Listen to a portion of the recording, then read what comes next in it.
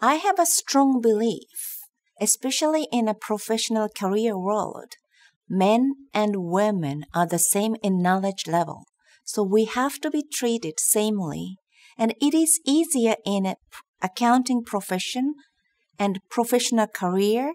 People can recognize you as the same standard because our career is supported by a kind of qualification. In our board of directors, half of them are women and the other half are the men.